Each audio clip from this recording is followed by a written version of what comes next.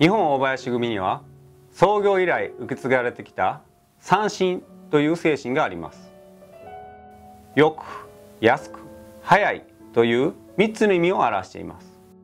日本大林組はこの精神をもとに誠実なものづくり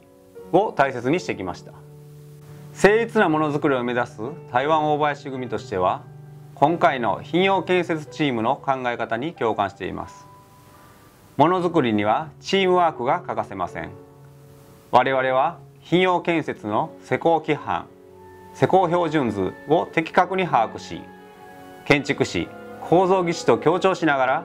チーム一丸となって品用楕円を建設していきます。また日本では現在主流になっている ICT システムを導入し最先端の現場管理を実践していきます。これは決めたことは守ります。という私が座右の銘としている言葉です。日本の現場時代にお世話になった所長が日々口にされていた言葉でその方は